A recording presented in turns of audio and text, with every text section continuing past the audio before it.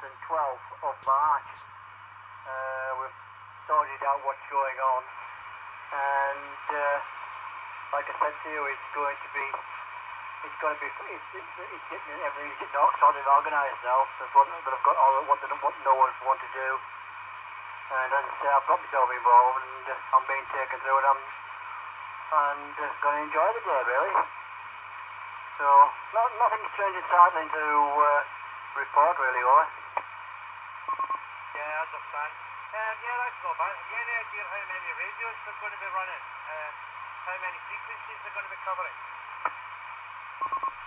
Basically two, uh, two uh, 40 metres and 20 metres. Um, that's about what the, they're planning to do anyway. I don't think there'll be any VHF uh, special events uh, because uh, just mainly down to shortage of operators and also that the fact there isn't a lot of people around on VHF or it doesn't appear to be should we say.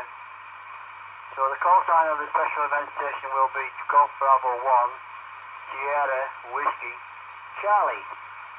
And it'll be active on the 11th from about 10 o'clock or slightly earlier. Official start at 10 o'clock but I know for a fact that they're going to be there for uh, at least from 7 o'clock in the morning, so we'll see. Otherwise, uh, not a bad day, Um, on the 11th and 12th, I'll definitely listen out at 40 metres.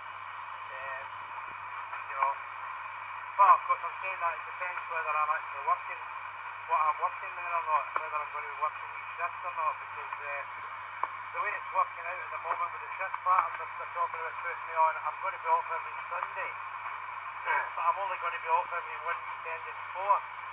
So um, doesn't suit doesn't at the moment, but uh, there's other options in the pipeline, as you know. Uh, from June, there's uh, an, op- there's an option of another job in uh, April, 1st of April, um, and also another job coming up in June.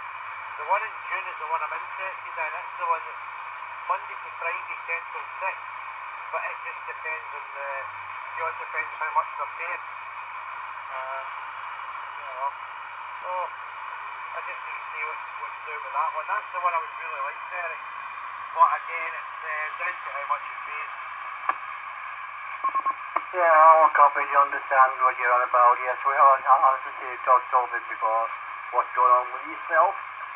Um, so I've been out this morning Stuart, my friend from Maryport, Dereham, his, uh, his grandson's going to help out with the logging on that on site. It's going to be electronic uh, logging with it on site, so that shouldn't be too bad. He'll just, he's just going to punch in the call sign, so we don't have to worry too much about that. I've got a copy of the script that I've got here now. So I'm up to read through things, and I've seen a copy of the QSO cards and things like that. But when I see what John's got, and you see the equipment I've got, uh, it's like I'm in the Stone Age, but there again, that's just surprising since I've never really bothered. Not that I'm complaining what I've got, of course. I've actually found uh, some, my, I've, I've actually found out my local interference. That was affecting my handheld this morning, afternoon. Turns out that because the TV's on standby downstairs, uh, it's interfering with two meter calling frequency. And so, so it looks like I'm going to have to try and find a way to knock it off at the wall because it's, uh, the, the plug's behind the TV and it's not the easiest thing to do. Oh, Right, I've just told them at the depot. Give us five minutes and I should be back, okay? Not a problem.